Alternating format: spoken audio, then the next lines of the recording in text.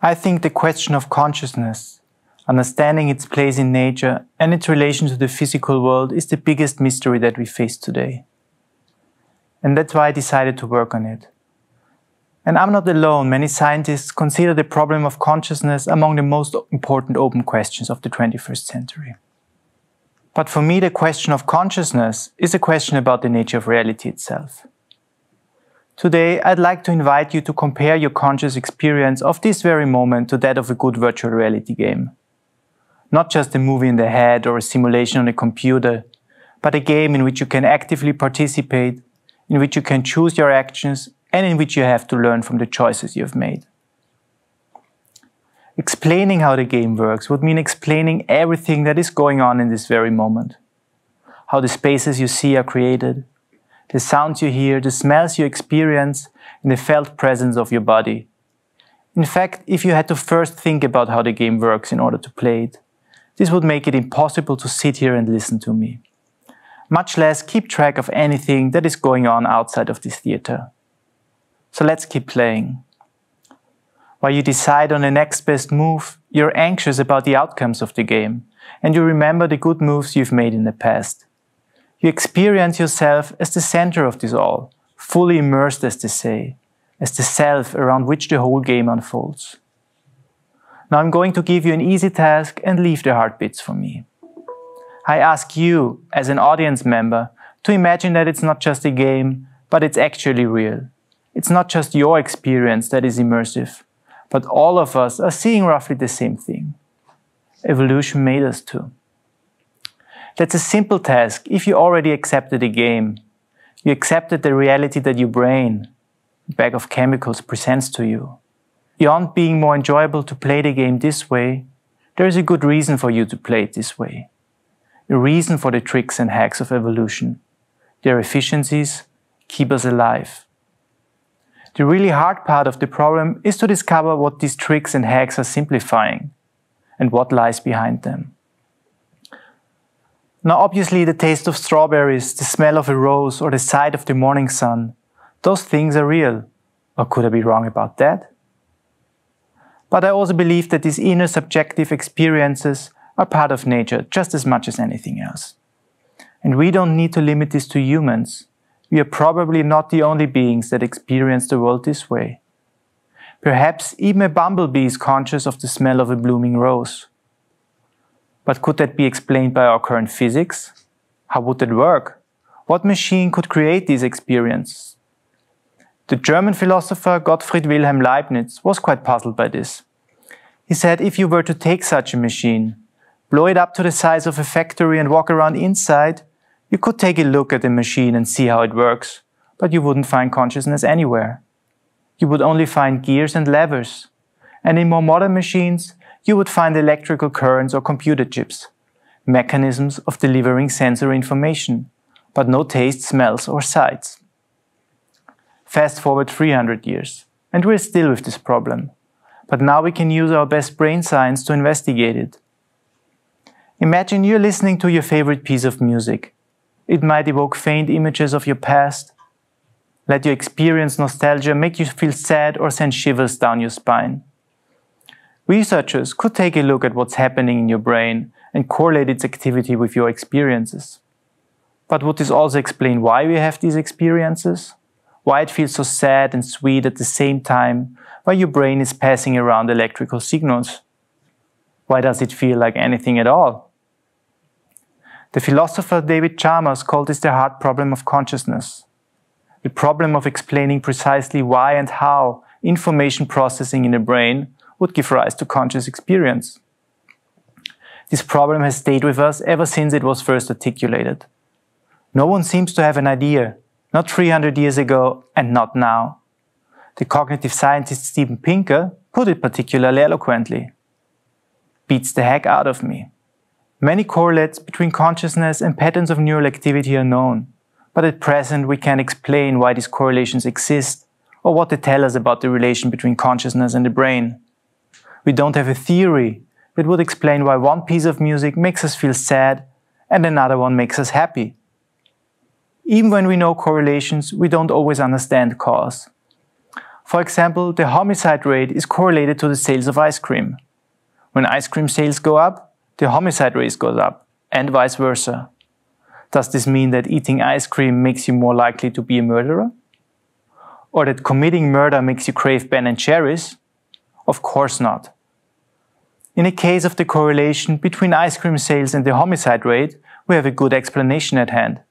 It is the heat of summer which affects both. We don't have a similar story for the relation between consciousness and the brain. Does brain activity cause consciousness? Is it the other way around? Or is there a hidden cause that underlies both? We don't know. Countless generations of really intelligent people, many of whom I admire, fail to solve this puzzle. And anyone who says there is no problem, don't listen.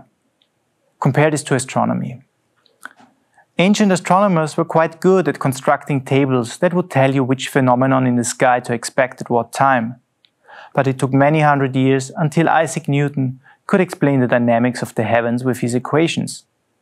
I hope that one day the same could be done for consciousness. But just a little bit faster. Why did it take astronomers so long? It is because they were missing an important insight into the nature of reality. They were missing that the sun and not the earth stands at the center of the solar system. The same, I argue, is true for understanding consciousness. We are missing an important insight it is easy to assume that we know more about the nature of reality than we actually do. For example, many believe that there is this material world, that we somehow perceive this world more or less accurately, and perhaps even that we could somehow build machines which do this in a way which grants them conscious experience. Well, time to look at some scientific facts. Our perceptions constantly fool us. Here are some examples. A visual illusion known as the Necker cube is shown on this slide. The Necker cube is a two-dimensional drawing of a cube that could be perceived in one of two ways, with the shaded area on the screen either in the back or in the front. Normally the image will flip after a while. Images such as these lead to a switch between two perceptions, even though the visual input always stays the same. There is no three-dimensional cube, just a two-dimensional drawing. Our minds constructed it. Another example is about the sounds we hear. Listen to this recording. What do you hear? I play it again for you. Do you hear anything? Now listen to this. Where were you a year ago? A clear voice. Listen again to the first example. Where were you a year ago? Do you hear it now? But of course, there is no voice. Our minds constructed it. Perception is not just a reproduction of what is there, it is more like an interpretation of what we sense. Could the same be true about our experience of reality? When I see an apple in front of me, I usually take it for granted that there really is a red and round object in front of me. This assumption is intuitive, but is it true? Well, think again of the Necker cube. We perceive a three-dimensional cube, but in reality it's just a two-dimensional drawing. Now it's one thing to dismiss such intuitions but it is another to actually prove them wrong. Our lab wanted to study this more precisely, relying on mathematics and computer models rather than on our intuitions. And what we found surprised us. One proof involves evolution by natural selection. You would perhaps expect that seeing reality more accurately makes you more fit. But we could show mathematically that organisms that see reality this way go extinct when competing against organisms of equal complexity that only care about procreating to pass on their genes.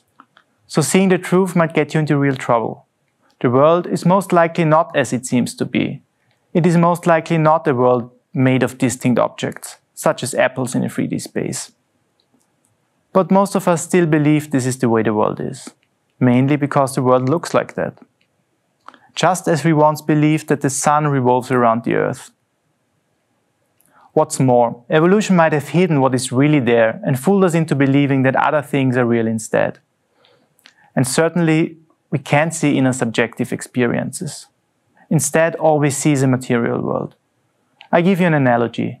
If you look at your own face in the mirror, what you see is skin, hair, and eyes. But there's a lot that you can't see.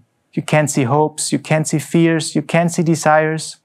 You cannot even see a headache, but these are real experiences. The things we see are what we need to see. They don't mean anything more than what our distant ancestors needed to see in order to survive. And evolution made sure that we regard them as real. Cut your head open and you will find your brain busy processing all the things you see. You can even record its neural activity. But as Leibniz already said, we will likely never find hopes, fears, desires, or headaches from staring at it. We've barked up the wrong tree all along. What is really going on here? Let's try to understand why the physical world looks the way it does, but starting with inner subjective experience.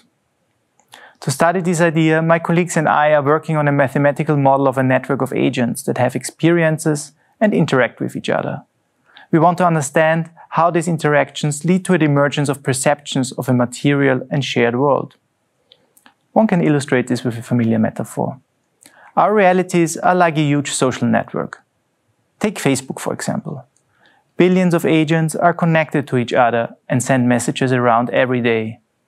They post about their experience. They could like what they see, they could share it, or they could just ignore it. You are not alone in the universe. The network is inherently social and it is inherently comprised of the relations between agents. Your success in a network depends mostly on the actions of others, whether they like what you post, whether they make friends with you, whether they want to hear more of what you have to say, whether you learn from these experiences and make better posts. This is doable as long as the network is small. But as the network gets bigger, this becomes vastly more complicated. Just to give you a feel for the numbers. Facebook creates roughly 4,000 terabytes of new data every day. That's about 4 million hours of streaming HD videos on Netflix. So the problem to successfully navigate this world is enormous. But the social network has algorithms that simplify what you see, when you see it, and how you see it. Without that simplification, you would not have a small and manageable stream of data. Instead, you would face a torrent of information that flies by you so fast you couldn't possibly make sense of it. These algorithms make you perceive all that's going on in a highly simplified and user-friendly way. They would hide the truth from you. And they would make room for ads too. Your perceptions are just a quick and dirty solution to a big data problem and nothing more and that includes the material brain. The problem of consciousness is about understanding why it is so puzzling and why our current ways to do science seem so limited. I've claimed this has to do with the way how we perceive reality. Something that feels so natural, but might in fact just be a trick played on us by evolution. I've compared our perceptions to solutions to a big data problem posed by a network of agents beings which are possibly quite unlike us, but which could experience and interact with each other. Will the theory I've sketched be wrong? Most certainly. But in any case, and through developing and testing such theories, we will find something that will surprise us. And just as the belief that the Earth stands at the center of the galaxy appears to us now, so will our assumptions about the nature of reality appear to future generations. Compared to this, going to the moon will look like a minor achievement. I have suggested that we are taking part in a big game played right now by a society of agents. A game to which evolution made us agree, but a game nevertheless. So what lies behind it? What is the game all about and who will we be when we stop playing it? Thank you very much.